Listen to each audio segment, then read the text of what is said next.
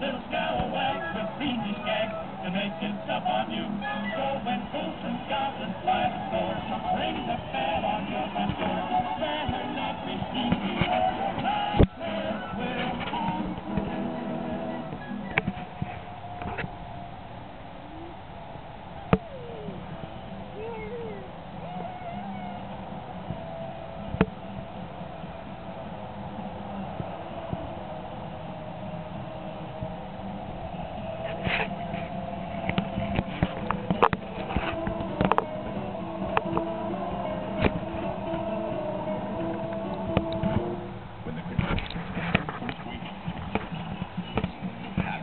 some material